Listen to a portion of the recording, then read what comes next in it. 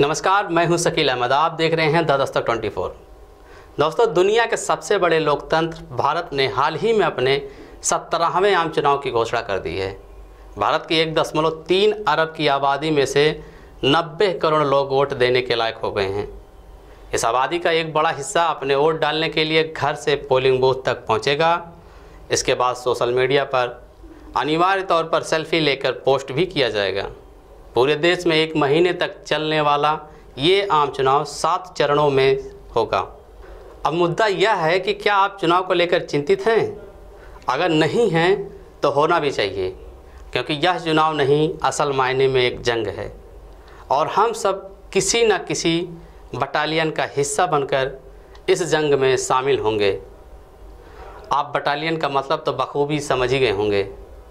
अगर किसी कारणवश हम सब इसमें शामिल नहीं भी हो पाए, फिर भी अप्रत्यक्ष रूप से इसमें शामिल होंगे। चाहे वह दर्शक बनकर, रीडर बनकर, या किसी फिलोसफर की तरह। अब इन सब का एक लाइन में मतलब निकाला जाए तो यह है कि युद्ध में शामिल हो या ना हो, टेंशन बराबर की होगी। हमारे पास इस टेंशन के लिए एक ऑफिशियल नाम है। इसे इलेक्शन एग्जाइटी डिसऑर्डर कहा जाता है। अब बात यह है कि चुनाव के दौरान होने वाली चिंता वास्तविक है, इस पर बात करते हैं। सबसे पहले आपको कुछ आंकड़े बताते हैं। सबसे बड़े लोकतंत्र अमेरिका के कुछ दिलचस्प आंकड़े आपको बताए जा रहे हैं।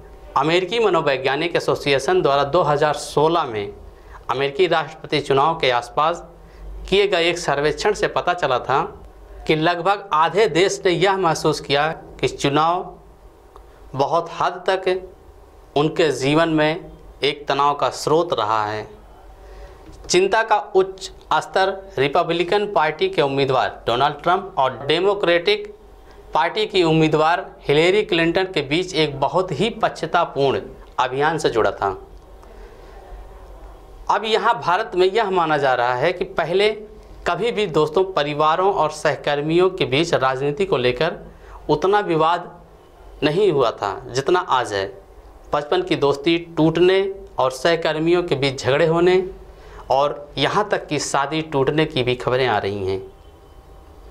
इस बारे में फोर्टिस हॉस्पिटल के मेंटल हेल्थ और बिहेवियरल साइंस के निदेशक डॉक्टर समीर पारिक का कहना है कि कुछ लोगों के बीच जिनके लिए चुनाव के जीवन का एक महत्वपूर्ण हिस्सा है, जैसे शीर्ष स्तर के राजनीतिक नेता, पार्टी से जुड़े लोग और ज़मीनी स्तर के कार्यकर्ता, उनके लिए चिंता करना तो आम बात है।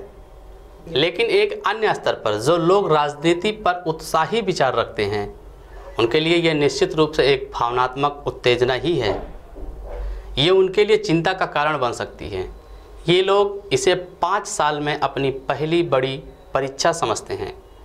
डॉक्टर पारिक मानते हैं कि सही और फेक न्यूज़ की सरासर बकबक से खुद को अलग रख पाना मुश्किल है, लेकिन हर कोई बटा हुआ है या राजनीति को लेकर आपस में झगड़ रहे हैं। ये इस धारणा की अतिशयोक्ति ही है। ये तो रही रिपोर्ट और उसके दुष्परिणाम की बातें।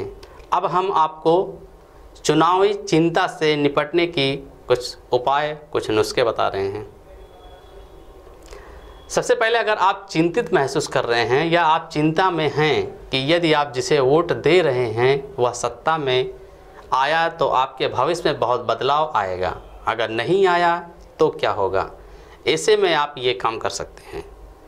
अब जो बताने जा रहा हूँ, आप उसे ज़रा ध्यान से सुनिएगा।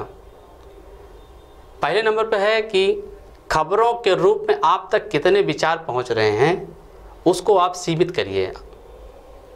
दूसरी बात यह है कि अनेक प्लेटफार्मों से जो भी आपको न्यूज़ या जो भी विचार मिल रहे हैं या जो विचार आपके पास आ रहे हैं, उनकी तथ्यात्मकता को जांचें परखें और अपने हिसाब से डालें तीसरा नंबर पे यह बात है कि अगर सोशल मीडिया की बगबग आपको प्रभावित कर रही है तो इससे ब्रेक लें।